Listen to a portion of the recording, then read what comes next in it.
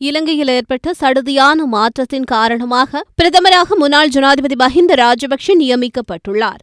இந்நிலையில் பிரதமர் பதவிக்கு முன்னாள் ஜனாதிபதி மஹிந்த ராஜபக்ஷவை நியமித்தமை எவ்வளவு அரசியல் நாகரிகமானது என்ற கேள்வியொன்று எழுகிறது என ஸ்ரீலங்கா முஸ்லிம் காங்கிரசின் தலைவர் ரவ் ஹக்கீம் தெரிவித்துள்ளார். இந்தியாவிற்கு விஜயம் செய்திருந்த அமைச்சர் ஹக்கீம் இந்திய ஊடகங்கள் எழுப்பிய கேள்விக்கு நேற்று பதிலளித்த போது இதனை குறிப்பிட்டுள்ளார். தமிழகத்தின் பயண நோக்கம் அது குறிப்பாக சென்னைக்கு வந்த நோக்கம் அஹ், தமிழ்நாட்டில் இருக்கிற இஸ்லாமிய சமூகம் மறைந்த கலைஞர் கருணாநிதி அவர்களுக்கான ஒரு நினைவேந்தல் நிகழ்வை ஏற்பாடு செய்திருக்கிறார்கள். அந்த நினைவேந்தல் நிகழ்விலே ஒரு அதிதியாக இலங்கையிலிருந்து இலங்கை வாழ் தமிழ் பேசும் சமூகம் முஸ்லிம் சமூகம் சார்பாக கலந்து கொள்ள வேண்டும் என்ற வேண்டுகோள் நண்பர் காதர் மொய்தீனூடாக எனக்கு அழைக்கப்பட்டிருந்தது. அதை அடிப்படையாக வைத்து வந்திருக்கிறேன். கலைஞருக்கு எங்களுடைய சார்பிலே அஞ்சலி செலுத்துவது எங்களுடைய நோக்கம்.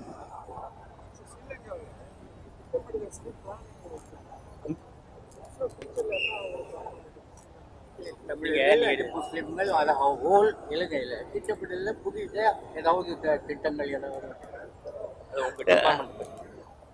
இல்லை எங்களுடைய அமைச்சு பொறுத்த மட்டிலே நாடு பூராவிலும் இருக்கிற சகல மக்களுக்கும் நாங்கள் தாராளமாக அபிவிருத்தி வேலைகளை குடிநீர் ஏற்பாடுகளை செய்து கொண்டு வருகிறோம்.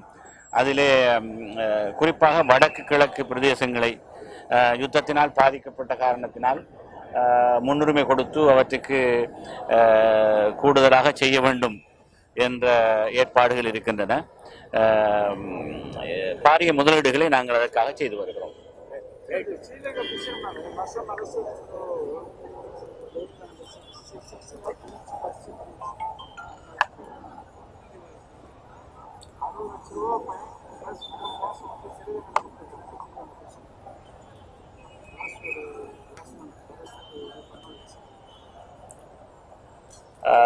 என்ன நீதிமன்றத்தில் நடக்கிற விவகாரங்களை பற்றி நாங்கள் எதுவும் சொல்லுவதில்லை. இருந்தாலும் தமிழக மீனவர்களுக்கும் இலங்கை மீனவர்களுக்கும் இடையில இருக்கிற இந்த இழுபறியில் ஒரு சுமூகமான தீர்வை எட்டுவதற்காக ரெண்டு அரசுகளுக்கும் இடையிலே மீனவர் சங்கங்களை கொண்ட குழுக்களும் அதே நேரம் வெளியுறவு அமைச்சு மட்டத்திலும் குழுக்கள் அமைக்கப்பட்டிருக்கின்றன.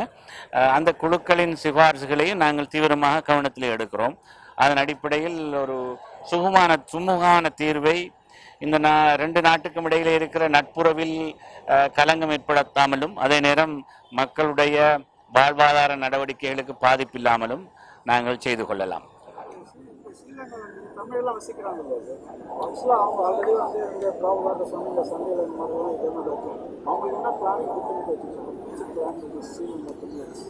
இல்லை இல்ல இலங்கை இருந்து இருக்கிற தமிழர்கள் யுத்தம் காரணமாக பாதிக்கப்பட்டவர்கள் இடம்பெயர்ந்தவர்கள் புலம்பெயர்ந்து இந்தியாவிலே வாழ்கிறவர்கள் இவர்களை எல்லாம் மீள குடியேற்றுகிற முயற்சி அதற்கான அத்தனை ஏற்பாடுகளையும் செய்வதற்கு நாங்கள் இப்போது சர்வதேச சமூகத்தின் அழுத்தமும் மிக தீவிரமாக இருந்து கொண்டிருக்கிறது. எனவே இது ஒரு அடிப்படை மனித உரிமை விஷயம். இதிலே எங்களுடைய அரசு இதற்கு முன்னைய காலங்களை விடவும் கூடுதலான கரிசனையை செலுத்தி அவசர அவசரமாக அவர்களுக்கான ஏற்பாடுகளை நாங்கள் செய்து வருகிறோம்.